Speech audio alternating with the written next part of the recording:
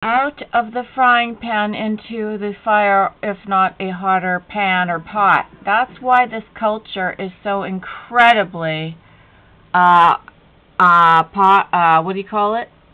That is why this lousy culture. See, look at how nice people look. Look at this is as bad as the 1981 commercials got, but remember how good a Agree used to smell? And look at the nice looking people, nice looking colors, and it's not this hideousness. Now, I'm going to tell you that this guy Tim Fletcher, um, I don't, I just discovered it now, but he's damn then good. rose up Talking about safe people, with blah blah an blah. intense But fear listen to this. of conflict and abandonment. And one of the reasons for that is sometimes in the mesh families, the families Talking about the healthy loyalty by support. saying we're here for there, nobody else out there is there for you. The As opposed to unhealthy, place, so- all, all But kinds of bad to this. things. So if you're not loyal to the family, you're going to get screwed up big time. And so the child feels that to challenge the family or to abandon the family would put them into a terrible place. And so there's a great fear of abandonment. Okay, so there wasn't ever a place, I mean, there was always a place for us to run to if our terribly unmeshed families and unhealthy parents and siblings, we had a place to run to, whether it was the smell of great shampoo, the the shopping malls where you could go look at beautiful people walking around, milling around, people watch everybody is good looking, even old and young, ever even children and old people. No one's wearing black stretchy yoga pants all over the place. We're striding along. Where you see people walking with a normal pace a, a normal stride of mankind, which is about five feet or so of two steps, but now you don't have that because everyone's got a cell phone in their face. Uh, where are the evolutionary biologists on this? But these are commercials from 1981. Look at the glitter of the of the of the. This is like real film, not digital. Well, actually, actually, uh, what do you call it?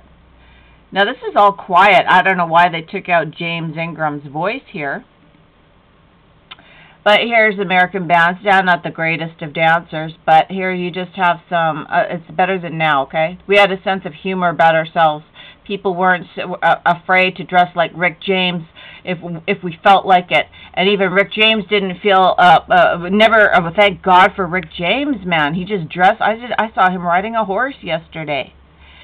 Uh, from Buffalo, New York, man. Anyways, my point is this. What we're living in is a worldwide dysfunctional family of, of uh, unhealthy people where they guilt trip you or are trying to use all the tactics, psychological tactics, to destroy you.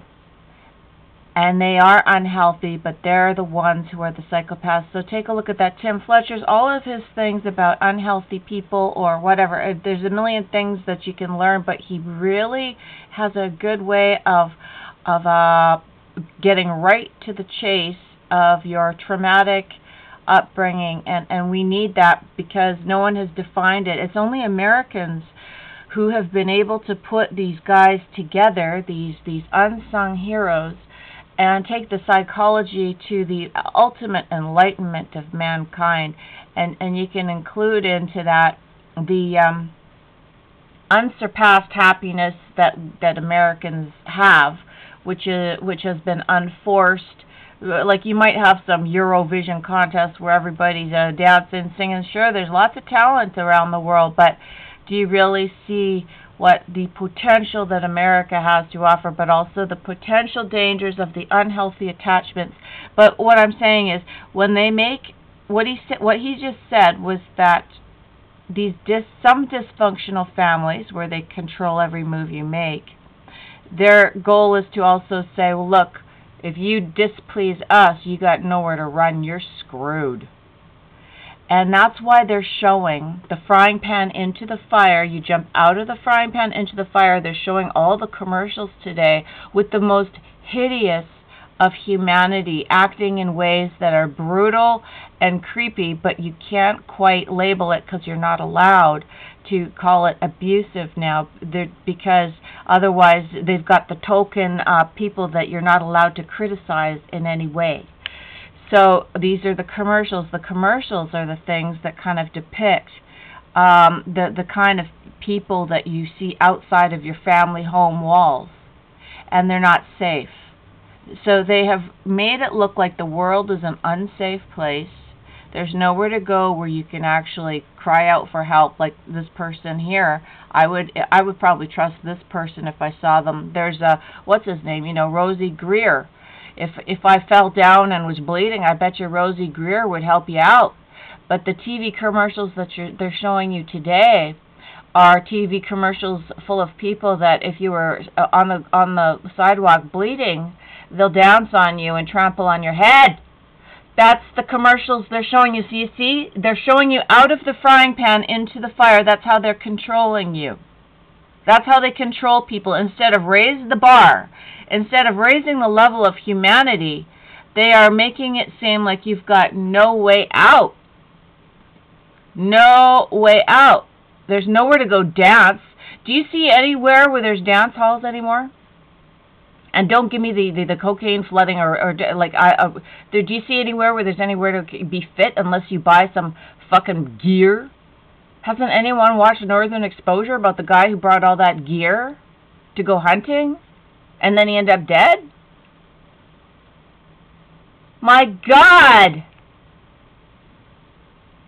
So learn to actually put things together. Put grandma's puzzle puzzle uh, tricks and uh, crocheting and needlework, needlepoint into your brain, and learn how to to in your in your one generation, one fucking fig tree generation, you can light up this world, or you can actually be a part of the problem by allowing the lie to continue through you by allowing them to tell you who you are, by allowing them to put you in these, uh, by even falsifying danger, they are creating real danger. So you're going to have to falsify them. You have to falsify them.